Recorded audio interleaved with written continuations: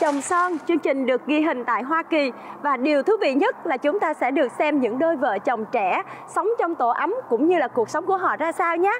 Bây giờ mọi người cùng theo Hiền. ông này lúc 7 giờ sáng là bấm bấm chuông xong vô nhà em luôn.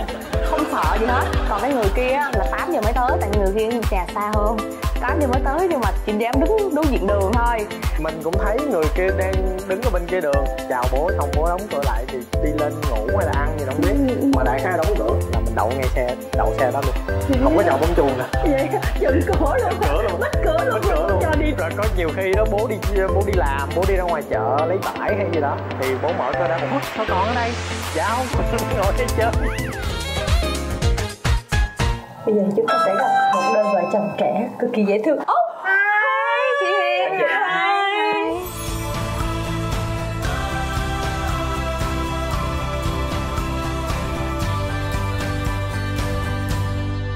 Chào chị Ờ, chị là bên ekip để mà qua gặp vợ chồng em. Dạ. Trời ơi, cái bộ đồ xinh quá vậy. Vợ chồng có đầu tư đầu tư gia đình gia đình bán vải Ủa cái này là mai hay sao? Cái couple vậy? dạ may tại nhà em bán vải với có tiệm may nữa Thiệt dạ luôn á? dạ cho nên hay may đồ couple đó đỡ thất lạc dạ mời chị vô nhà chơi Wow, nhà xinh quá ha. dạ cảm ơn Thì đây là những cái hình gia đình nhà em đi chơi hả? dạ đúng rồi ờ, đây là cái khung của gia đình gia dạ đình. rồi mỗi lần, lần đi tới một cái nơi nào á thì mình sẽ chụp một cái tấm mà giống như là cái địa điểm nổi tiếng tới nơi đó vậy đó để hả? mình làm kỷ niệm Em có thể share với lại bên uh, ekip á ờ, cái tổ ốc của mình được không? Ờ, Dạ. dạ. được Dạ. dạ. dạ đầu tiên thì à, đó là phòng của baby phòng của baby em thì à, trước cửa phòng là có để tên của bé là Stephanie nè Có có mời cô vô không? con mời cô vô phòng cô Có hả? Có Rồi, có con mời nắm cô tay vô đi. không? con nắm tay cô nha con kéo vô Rồi nha Wow, phòng như công chúa vậy ta rồi con ngủ ở đâu nè baby Nói con ngủ ở con ngủ ở đâu đâu? con giới thiệu cho cô đi à con ngủ trong đây Cái gì? Dạ. Rồi cảm ơn ni nha. Cảm ơn nha bye bye, bye, bye. rồi ni ngồi dễ tiếp đi. Còn đây là phòng của hai vợ chồng. Hai vợ chồng mình thì à, trước cửa phòng thì có cái vòng hoa. Vòng hoa này là món quà cưới của một người bạn tặng có chữ tên bình và nhã vậy đó. Là món hoa này ở Việt Nam. Dạ món quà này em đem từ việt nam qua hôm ngày cưới á. Dạ. Dạ. Mà có ngại khi mà dẫn Kim Hiền vô đây không dạ vậy? dạ không phòng nhỏ nhỏ xinh xinh dạ còn đây á là cái bức tranh à, ký tên trong ngày cưới của hai vợ chồng. Tụi em bắt đầu ký tên đây nè là tên em nè tên bà xã nè. Đó thì bên này là là là bên vợ bên đàn gái còn bên này là bên đàn trai. Còn bạn bè á là là Để người ta ký tên đây. Đó, Dạ. đó như những cái khoảnh khắc nè mình ra trường nè. Ờ, lúc này rồi còn trẻ lắm nè. Đó rồi lúc này đi Disney nè đó cái này là chụp cái nhẫn ờ, cái nhẫn cưới đây. Này là ảnh cầu hôn em ở Đó. hollywood. Hollywood uh, Boulevard. Là, là cầu hôn cái, cái lúc đó là vợ đi qua đây chơi. Dạ. Như chị thấy là cái phòng làm việc là Dạ. đình đem vô đây luôn. Thường Dạ. thì người ta sẽ phải tách ra là Dạ. giường ngủ. Dạ. Tại hồi xưa là mình để bên phòng của baby. Ờ, nhưng mà bây giờ baby lớn là muốn cho nó có một cái không gian riêng hẳn của nó luôn. Cho nên mới đem phòng làm việc qua đây thì chồng có thể làm việc rồi vợ có thể ngồi đây coi phim như chị thấy thì hình như là có những cái ờ, cái đồ ờ, kỷ niệm. Vậy là dạ mình đi đến đâu thì mình sẽ có Dạ, những kỷ niệm. À, đúng Dạ, rồi. chính Đó. xác. thì tụi em làm cái góc nhỏ nhỏ vậy để nhiều khi mình làm ở đây mình ờ, ờ, Mình căng lại. thẳng hoặc là ấy thì mình nhìn lên à cái này này là cũng vui để anh có động lực anh kiếm tiền dẫn em Đó. đi nhiều hơn Ờ, cái này cái ý kiến này á chắc là chị cũng phải bắt chước là tại vì mỗi nơi mình đến rồi Dạ. mình đặt vô để chi động lực mình để Dạ. mình là kiếm tiền á mỗi lần mình Dạ. sẽ tích vô một một nước mình đã đi qua rồi đó đó Dạ. đó dạ. Wow. Bây giờ mình sẽ tham quan cái ờ, cái um, tủ lạnh của gia đình ha. Tủ lạnh hả? Dạ. chắc là có cái gì hấp dẫn lắm này nha. Dạ. Đừng nói là đồ ăn nhiều á. Đúng không tủ lạnh thì à, giống như là tại vì tụi em hay thích đi du lịch đó cho nên tụi em mỗi lần đi tới à, nơi nào á là hay mua những cái uh, magnet của từng nơi đó để mà trang trí để mà kiểm kỷ niệm vậy đó. Wow nhiều quá ha. Ờ hình như chị nghe cái mùi nấu phở. Chính xác chính xác. Phở bò luôn phở bò mà kiểu phở bắc luôn của việt nam. Đâu? Dạ. Dạ. Em sẽ giới thiệu mọi người hôm nay em nấu phở. Wow. Dạ có đuôi bò nè có đuôi bò có bắp bò viên. Với lại đây là gọi là tái tái mà kiểu mà của miền bắc á. Người ta sẽ bằm chung với lại gừng nữa. Cái này em tự học hay là mẹ chỉ lại? Em tự học á trước khi lấy chồng là không hề biết nấu ăn luôn. Không biết nấu ăn không có ờ, dọn dẹp không có rửa chén luôn. Nhưng mà không hiểu sao tự nhiên cái lấy chồng xong rồi cái cái thích thích nấu ăn thích chăm sóc nhà cửa á cái mình tìm hiểu. Nấu có khó không? Dạ không cũng không khó lắm đâu. Tại vì ở bên đây em thấy nấu dễ ở việt nam á trong giờ ở bên đây mọi thứ nguyên liệu có sẵn hết rồi. Mình chỉ ra chợ mình mua thôi. Hình như là anh chồng của em rất là thích ăn nhiều món ăn chính Việt. xác chính xác. Ảnh lấy em là ảnh tăng chắc cũng phải lúc mà em có bầu á là em tăng 11 kg thôi mà ảnh tăng tới 13 kg Ồ, vậy luôn đó hả? Anh ăn toàn đồ của bà bầu nhưng không mà vợ em xuống á thì lại không rủ em xuống chung nên em cứ giữ cái ký đó. Vợ em thì xuống ký. Rồi con có thích ăn không? Con thích con ăn có thích mâm mâm không? vậy thì Dạ. mình mâm mâm hả? Giờ mình mâm mâm đi ha. Giờ mẹ làm cho mọi người mâm mâm con qua cô á. Nè, dạ thôi, dạ thôi cho anh đi. Rồi qua ba ba Chị sẽ phụ em ha dạ. Wow, thơm quá. Trời, cái này giống chơi bán đồ hàng. Chính xác chính xác.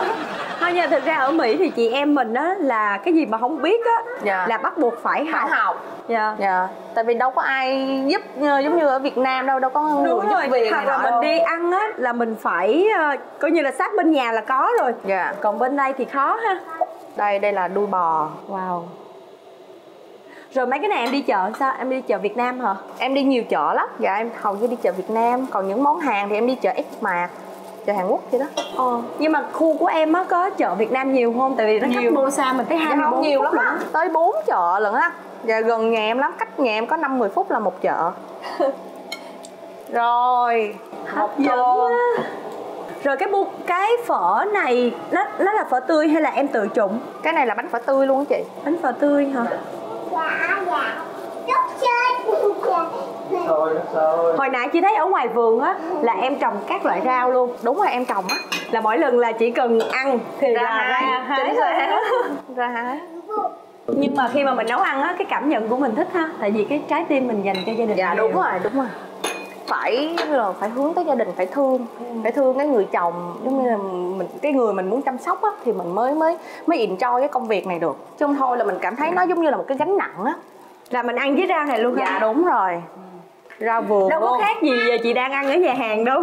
rau vườn luôn chanh cũng vườn luôn. Vậy hả? dạ đây. Hồi nãy chị thấy ngoài vườn có cây chanh cây với chanh lại cây cam. cam. Đây là cái vườn rau mà của vợ em nè. Dạ. Đó. đó bà mỗi ngày bà trồng đó thương lắm. Vậy dạ mỗi ngày đều ra trồng. Trời trồng cực lắm chị ơi thật sự luôn á. Mỗi lần trồng xong đứng lên là muốn cụp xương sống. Nhưng mà rất là thích. Thấy là nó nó nó đâm chồi nảy lại quá. Ừ, ừ. nó lên đó mình rất là thích. Rồi em có tham gia cùng với lại à, Nhã đó không? em là công nhân chính ở đây. Em đào hố rồi lấp đất rồi là em hết á. Rồi bây giờ mình mời mọi người dùng bữa đi. Dạ mọi người chắc cũng đói lắm rồi. Có tương tương đen với lại à, tương đỏ hả? dạ có đầy đủ hết đây em làm cho chị một Chị khoái nhất là cái cái tương này đó. ờ sriracha mời cô rồi giỏi Nói tiếng Việt giỏi gì? dạ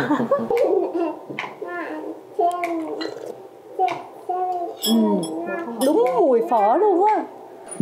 cái này em nấu là vị phở bắc á Hèn chi ảnh không mê là đúng rồi.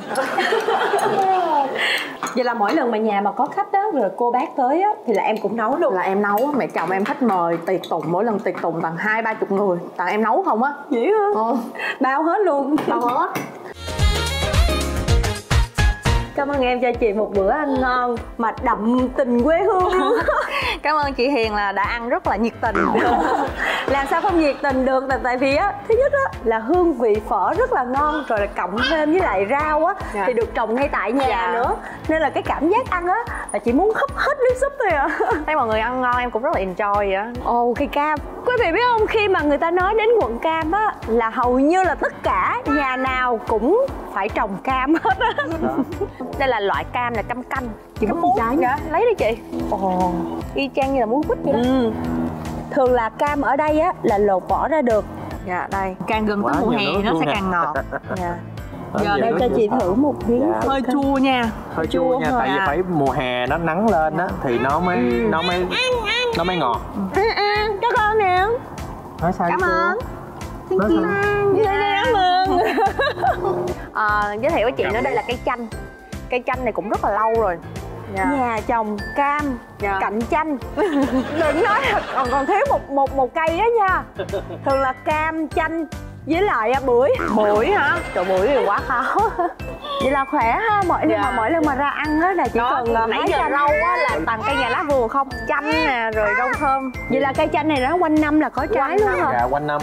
Như cây chanh này cũng đỡ lắm mình hấp gà gà hấp lá chanh. Dạ. Mình ra mình lấy lá mấy chanh cái này lá mắc lắm á. Lá chanh này mấy cái lá chanh mắc hoặc lắm là lá lá non á Ừ. thì nó thơm đợt trước em còn làm mà làm mà khô gà lá chanh nữa. Lấy lá chanh đây vô cái mình xào khô gà ăn. Đủ món hết. Đúng không đây mời chị. Rồi cảm ơn em. Đây mời giờ rồi nên mình chia đi. Mời chị. Rồi cảm ơn hai đứa.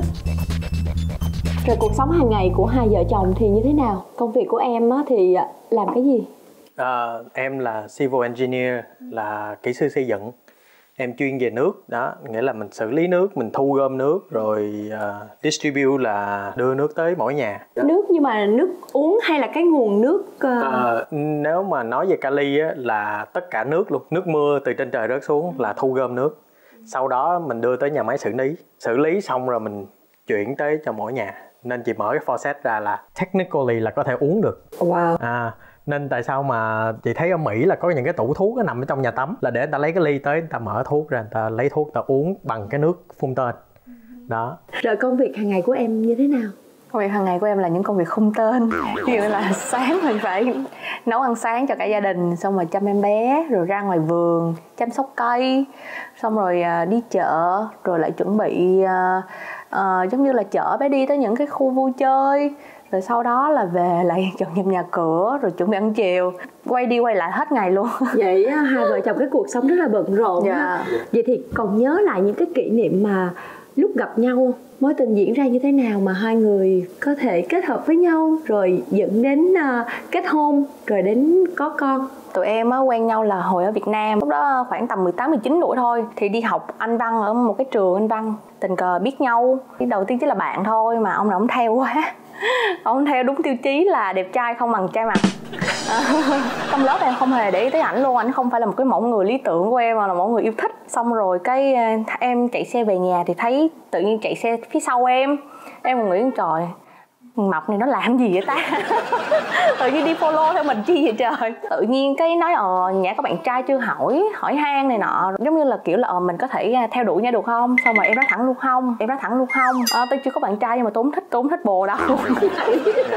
Rồi thì mình à, dùng chiến thuật chai mặt Ôi vậy vậy đó. đó cứ mỗi ngày em biết là ở nhà là em đem đồ ăn sáng qua. Cứ mỗi tuần là em đều đem đồ ăn sáng qua. Mà mua là mua cho cả gia đình luôn. Tại gia đình cũng chỉ có bốn bốn người thôi. Đó mình mua bốn phần rồi đem qua.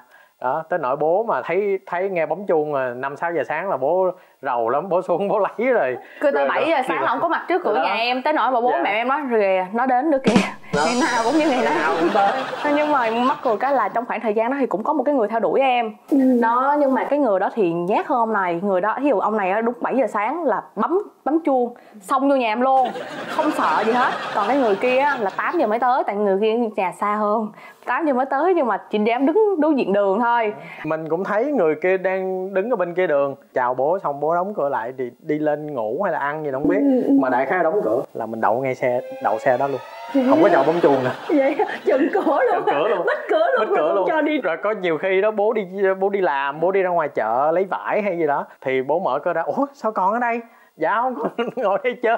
Rồi nhã lúc đó sao cảm giác là cứ theo mình hoài đương nhiên là theo mình hoài mình cảm thấy mình rất là bực bội đúng không? Đầu tiên cũng cảm thấy rất là bực bội đó. Xong rồi mà bố mẹ em thì không hiểu tại sao rất là thích ông này nha. Cứ nói là bố mẹ thấy nó không có đẹp trai nhưng mà nó là người tốt á nó đàng hoàng á. Xong mà em cũng cũng thử em nhìn thử giống như là mình nhìn lại ờ cái người này có những đặc tính gì vậy đó. Không nói ờ người này thấy cũng được thôi mình mình ờ giống như là cho một cơ hội để mà tìm hiểu thử. Thì à, có khoảng bao lâu? Một tháng hai tháng hay là tháng thứ ba mới là quyết định? Ảnh thêm cả năm á. Cả năm rồi em mới bắt đầu quyết định để đi. Đúng rồi. Có một lần á là vợ bệnh em mới đi mua cháo hàng xanh. Thì nhà em là ngay đó cháo hàng xanh là nổi tiếng. Đó thì em mới vô tiệm cháo mua hai bịch cháo. Mà hai bịch cháo là cỡ khoảng bốn người ăn á. Mà bây giờ không biết là thích ăn gì. Thôi tất cả trên quầy có bao nhiêu món lấy hết. hết. Lấy hết mấy tất cả. món. Lấy hết mỗi thứ một chút chút chút chút nè. Mau cái bịch chở qua. Xong rồi gõ cửa thì lúc đó là mẹ ra mẹ mở cửa thì mẹ mới nói, ủa, đi đâu giờ này qua đây? Nó dạ con biết, bé nhà bệnh ờ, cho con ờ, đưa đồ ăn. Về sau mẹ mới kể là, thằng này nó điên. Mẹ em nói với em á, mẹ ơi, thằng này nó điên rồi. Mỗi lần mà chồng em làm, giống như là gửi đồ ăn qua là phải kèm một bài thơ hoặc là ghi một cấu trúc chúc em ăn ngon miệng à, ký tên bình lê hoặc là gì tên em một một thanh nhã nói chung ngày nào cũng phải làm một bài thơ rồi ghi giấy đưa vô một món ăn á. Thì em mới nghĩ là ồ người này tốt vậy đó. Thôi mình thử mình mình tìm hiểu người này. À, lúc đó mới chính thức tìm hiểu. Có một cái ờ, vấn đề nữa đó là trong khi mà đã chính thức tìm hiểu rồi thì quen được chắc cỡ tầm có um, 6 tháng. Thì trong khoảng thời gian đó tự nhiên mẹ em bị bệnh. Mẹ phát hiện ra là mẹ em bị bệnh uh, ung thư phổi mà đã vậy ảnh lại có cái giấy tờ là anh phải đi du học. Thì lúc đó hai sự việc đến với em cùng một lúc. Em cảm thấy rất là rất là mệt mỏi. Cho nên nó là em quá nhiều áp lực. Xong rồi em cũng nói lời chia tay. Em nói lời chia tay thì mẹ em lúc đó đang nằm trong bệnh viện á, mẹ em mới biết em nói lời chia tay xong rồi mẹ em thở không nổi. Mẹ mới nói là, con không được chia tay với con bình như đó nó rất là tốt. Con mà chia tay là mẹ mẹ mẹ chết, mẹ không thở nổi này nọ kia. Xong rồi mình cũng nghĩ là thôi mình sẽ quen mình sẽ quen đến khi nào mà anh đi du học thì thôi vậy đó. Rồi lúc đó thì sẽ thời gian nó sẽ làm giãn giãn hết mọi thứ. Rồi cũng không ngờ là anh đi du học um, 9 năm tụi em yêu xa 9 năm. Vậy đó mà cái mối tình nó vẫn kéo dài hoài mặc dù là giận hờn rồi gây gỗ rồi cũng có rất nhiều biến cố xảy ra trong khoảng thời gian đó. Nhưng mà hai đứa vẫn không đứt nhau ra được. Bây giờ nghĩ lại thấy không biết sao mình qua được. Không thể, không hiểu tại sao mà mình có thể vượt qua được mà lúc đó đó là đi học đi làm trong trường rồi về đó 5 giờ bên này là 8 giờ sáng bên kia là em gọi điện thoại. Mà ngày nào hầu như là ngày nào cũng gọi. Rảnh ra là gọi mà lúc đó là còn ở với lại nhà bên người thân. Thì tới nỗi mà mọi người nói là trời ơi gọi hoài không được đâu phải lo đi học đi làm. Nhưng mà giống như là mình nghĩ là ồ, mình có thể vừa đi học đi làm mà vẫn giữ cái mối quan hệ vẫn có thể nói chuyện vẫn có thể vun đắp được. Nên mình vẫn tiếp tục. Nhưng mà trong 9 năm đó em có về không? Hay dạ là có. 9 năm thì em về ba lần 3 là lần trung bình 3 năm một lần. Chị cũng chúc mừng hai em là tại vì mọi thứ trải qua rồi xong rồi sau đó lại đến được với nhau. Khi mà chị bước vô chị cảm thấy cái căn nhà nó rất là ấm cúng một cái hạnh phúc gia đình nó có. Cái cái thứ nhất là cái người vợ dành cả cái thời gian của mình để mà chăm sóc cái bụng cho vợ chồng. Đó là những cái món ăn Việt Nam mà chị hỏi là ủa em có biết nấu không? Hay là ai chỉ không nói không? Em search Google hoặc là em tập. Cái đó là cái mà nhã đã bù đắp cho em có khoảng một năm mấy mà em đứng ngoài trước cửa đúng không? Dạ, đó đó. Đâu có gì đâu mà khó. Em hơi cảm động một chút ờ, tại vì giống như là thường thì em sẽ không nhắc đến những cái chuyện hồi xưa tại vì nói chung là trong 9 năm đó nó quá nhiều chuyện xảy ra. Đối với ờ, ờ, hai vợ chồng em nên nên ờ, nên mỗi khi mà nhắc tới trong 9 năm đó có chuyện gì xảy ra thì em hơi xúc động chút. Rồi uh, 9 năm là bắt đầu em mới qua đây. Tụi em quen nhau tới năm 2013 á, thì ảnh về đám hỏi. Đám hỏi xong rồi tới năm ờ, 2015 á thì em ờ, may mắn là đi qua Mỹ ờ, để mà dự lễ tốt nghiệp của ảnh. Thì sau đó là trong trong năm 2015 là tháng 9 á, thì ảnh về đám cưới. Đám cưới xong là 10 ngày sau em qua luôn. Rồi bao lâu thì có đứa nhỏ? Dạ thì ờ, bé một năm. Một năm. Dạ, Một năm sau. 2016 dạ 2016 là em em đẻ baby. Bây giờ là mấy chị em mình chia với nhau Dạ, nha. dạ. để làm chi? Để kể tật xấu của nhau. Tiết mục này. Chủ yếu lên chương trình này để cái đó rồi đó. Đó anh chờ đợi tiết mục này lâu lắm rồi hồi xưa anh thích coi cái chương trình này lắm. Anh nói trời anh ước được lên cái cái chương trình này lắm em ơi để tố em thôi thích nhất thích, thích nhất là coi tật xấu nào giống em tật xấu nào giống anh vậy đó rồi giờ bây giờ đó ai, ai nói nhiều, trước? nhiều xấu. Chấp, chấp em nói trước. Lady first chấp em nói trước. Tật xấu của chồng em á thật ra là ưu điểm cũng là khuyết điểm luôn. Có nghĩa là khuyết điểm của ảnh là ảnh rất là để tâm tới cảm xúc của mọi người. Nhiều khi á, công việc của ảnh rất là áp lực rất là stress. Nhưng mà ảnh còn lo tới cảm xúc của nhân viên. Ví dụ như ảnh làm xong công việc của ảnh rồi hay gì ảnh có thể về nhưng mà anh sẽ hỏi uh, đồng giống như là những người nhân viên của anh là ờ, có cần giúp không? Lúc nào anh cũng ở lại anh giúp ở khi hai ba giờ sáng chỉ để giúp người ta thôi. Rồi ví dụ người ta nói là tao cảm thấy làm công việc này quá chán thì thay vì ảnh là một người sếp ảnh sẽ nói là mày không nên suy nghĩ như vậy. Mày phải tập trung vô công việc của mày không? Anh sẽ về anh sẽ buồn. Xong rồi anh sẽ nói anh nghĩ anh nên kiếm một công việc khác cho người ta để người ta làm công việc này không? Không enjoy gì hết. Nói chung là anh quá gì người khác. Nhưng mà nhiều khi vì người khác rồi em có ghen không? Không em thì không có ghen đâu nhưng mà giống như là em thấy sót á. Vậy là tật xấu của ảnh là vậy á hả? Cái đó là vừa là ưu điểm vừa khuyết điểm. Đó. còn một tật xấu nữa đó là đi làm 8 tiếng cho nên nó mang giày suốt rất là hôi mới nhớ ra rất là hôi mà ngày nào về cũng nói anh cảm giác như là chân anh hôi lắm em. Anh cảm giác như là chân anh hôi lắm em.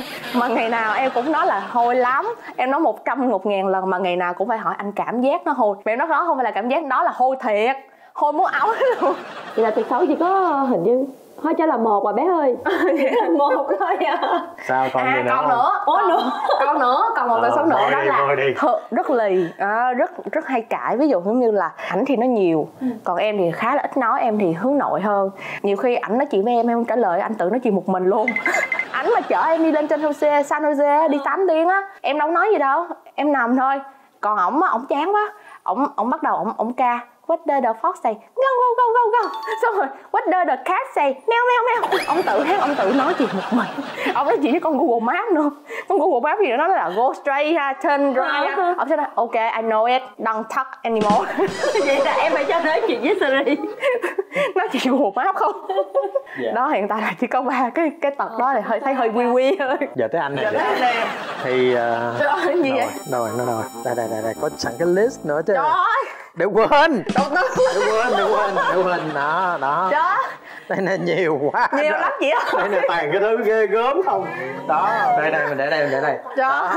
bây giờ cái đầu tiên á là cái ờ, chuyện cất đồ hay là còn nói nó khác là giấu đồ. Ví dụ như cái bữa đó là tụi em lần đầu tiên ờ, nghệ sĩ thành lộc qua đây. Dạ. thì tụi em mua cái vé để coi dạ của hoài lan. Em mua xong rồi em chạy về nhà em nói đây đây hay lắm. Em mua quý được hai lắm. cái vé. Quý lắm nha cất cất kỹ nha bữa đó đi nha. Bữa đó lôi ra mất hỏi em ủa em cất cái đâu? Em cất cái đâu em không có nhớ hết. Lôi Mà em quý lắm, ra. em cất kỹ dữ lắm. cất kỹ dữ lắm mà lôi hoài không ra. Cái cuối cùng giác mặt tới đó nói bây giờ tôi mất vé rồi bây giờ sao đây? Nói không sao không sao. Đợi hết người vô rồi tới anh chị. Đợi hoài hết hết người này vô tới người kia vô. Vô hết rồi đầy rạp rồi mới tới mình. Đó là nhẹ. Rồi có một lần phải trả tiền cho người ta. Có ờ, bao thơ 10 ngàn 10 ngàn đô la. Thì mình trả tiền. Thì mới nói em phải giữ kỹ dạ dạ tối qua là mình đã đưa rồi. Sáng dậy mất. Không biết nằm đâu. Cái bà ông ngồi bà suy nghĩ không biết cất ở đâu. Mà chắc em nghi là ông làm vườn lấy. Còn cái tính suy diễn nữa. Ghê dễ sợ lắm. Lúc đó cái bao thơ để đó kế bên cái ipad mà cái ipad còn cái bao thơ mất. Thì em nói Em tưởng tượng bảo đảm là em em cất ở đâu mà em không nhớ. Khóc quá trời trời ơi chết rồi cái này mất 10 ngàn giờ sao đây. Một hồi nữa bà buồn quá bà nhắn tin cho em. Thôi bây giờ em buồn quá em kêu không ra em đi tắm. Chừng hai ba phút sau anh ơi em kiếm ra rồi. Nó nằm trong cái tủ khăn. Bà xếp khăn đó chị. Bà để kế bên vậy nè. Cái bà gom cái khăn bà bỏ vô trong tủ luôn. Giờ kéo cái khăn ra để đi tắm nó mới mới thấy được cái đó rớt ra. Mà món nào mà em càng ơi. quý là em càng giấu giấu là mất luôn. Không ai kiếm được em càng quý là em càng giấu. Giấu là mất luôn. Ghê dễ sợ lắm. Đó, đó, đó cái đó. đây nè nói có sách mách có chứng mà. Tiếp theo là kỹ quá mức một ngày á cái nhà này á cái gỗ này thế nào nó cũng mòn. Một ngày là, là lao ba bốn lần. Hèn chi vậy đi vô. Nha. Nó giống như nó bị trơn đó, á đó, đó, đó, đó, em cái á, tưởng là xịt dầu hay cái gì vô em với con nhỏ con em là cái chân nó phẳng. Trượt cái trượt băng vậy đó. Té hoài. Nhưng mà kỹ có có chọn lọc. Thí dụ như lau nhà dễ á không sao mà lau cầu tiêu không lau. Lau cầu tiêu là để đánh dấu về về chồng lau. Chỗ hôi thối không ưa. Đổ rác là không chơi. Chứ không phải là kỹ là tất cả đều kỹ. Đó Thôi rồi. furniture là rất là được kỹ. rồi qua một tiếp theo đi. Hay, hay, tiếp qua theo, một tiếp tiếp theo. theo. đi. Đó sau khi làm chuyện nhà xong là chị sẽ đi ngủ. Đi ngủ thì thường thường là mình phải nghe nhạc nó êm dịu. Đúng không vậy phụ nữ thì nên như vậy. Không nghe chuyện ma. Nghe chuyện ma. Nhưng mà nghe chuyện ma thì ok đeo tai nghe vô hay là sao đó nó nó nó lịch sự. Không mở loa lớn lên nghe. Như có một lần đó là buổi tối đó là em đang ngủ. Lúc, đó chắc phải 11 12 giờ. Tự nhiên em em nghe mày đi ra! Mày đi ra! Em mở mắt dậy em nói đi ra đâu sao ủa mà sao nghe giọng đàn ông? Mày đi ra! Đang tới khúc là ông thầy pháp. Ông kêu con ma đi ra khỏi hồn người ta. Thì em nghĩ là bà đang thức bà nghe. Em nói em quay qua em nói anh tắt nha bà ngủ mất tiêu rồi à, em nghe chuyện mà để em ngủ á, để em yên giấc. Đó chị thấy chưa? Kỳ dữ lắm. Thôi còn nữa không? Bây giờ còn từ số còn nữa. nhiều lắm. Còn một tật nữa thôi đúng nè không? đấy nè đúng rồi còn một tật nữa thôi mà tật này là ghê lắm. Tật này là gì tình yêu chứ không phải là ngủ, ăn ngủ vậy đó. Thích chồng hửi đầu dơ. Nghĩa là em hiểu phụ nữ tóc dài dễ rụng gội đầu ít nhưng mà phải lịch sự. Ví dụ như cái cái hôm nào mình gội đầu, nó thơm mùi này, mùi kia, thì mình nên khuyến khích người ta hửi. Còn cái đêm, cái ngày cuối cùng á, sau ba bốn ngày nó chưa gội rồi, thì nên không không nên kêu chồng hửi muốn lăn ra chỉ chỉ có lần là chết thôi. Không nhưng mà chị thấy rồi. Những tật xấu của của hai đứa nó sẽ là một cái gì đó kết hợp làm cho cái, cái cuộc sống nó đỡ nhàm dạ chán. đó đúng. Tại vì hài lắm. tại vì vợ, vợ chồng với nhau á sống á nếu mà nhưng mà không có một cái gì đó sáng tạo hoặc là một cái cái vui hoặc là cái hài hước á thì Dạ. cái tình cảm nó càng ngày nó càng giảm bớt đi. Dạ. nhất là Dạ. khi có con rồi rồi công Dạ. việc nữa sẽ dễ bị stress lắm. Dạ. cho nên là chị thấy như vậy nhiều khi cũng là một cái đó dạ. đúng dạ hài lắm. Vậy qua chương trình này nè em có muốn nhắn nhủ gì với vợ em không? Nhắn nhủ hả? Mấy cái kia không sao chuyện ma rồi bình thường chuyện nhỏ điêu được hết. Nhưng mà cái vụ giấu đồ hơi mệt đó bớt giấu đồ lại. Cất đồ không có giấu đồ. Còn à, đầu hôi á thì mình bớt bớt tiết chế. Ok không? Biết yêu nhau yêu nhau mình nên trao mọi thứ cho nhau. Nhưng mà mấy cái đó mình giấu đi. Đầu dơ mình giấu đi. Mà hết là chị rồi muốn vậy đúng không? Dạ. rồi còn giả. Em hả em thì thật sự là um, em thấy chồng em vậy cũng ok.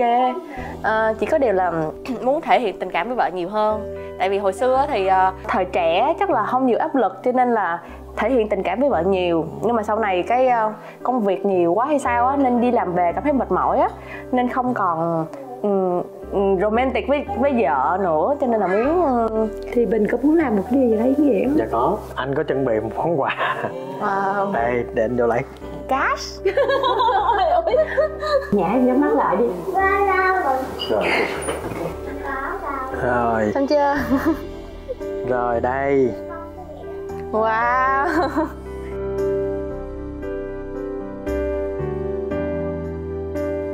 Hoa ba mua hả? Ờ ba cấm luôn á. Ba có mùa nào? Trời ơi ba cấm trong bí mật mà ba giấu hồi sinh hôm bữa tới giờ. Trời ơi ghê. Đó còn một túi quà nữa nha. Wow thank you quá thank you quá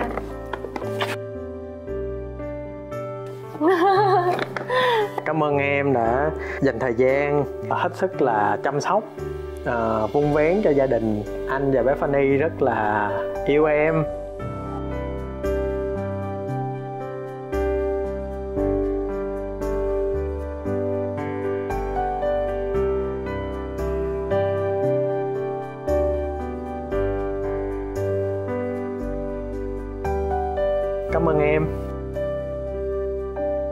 Giờ em sẽ mở ra nha.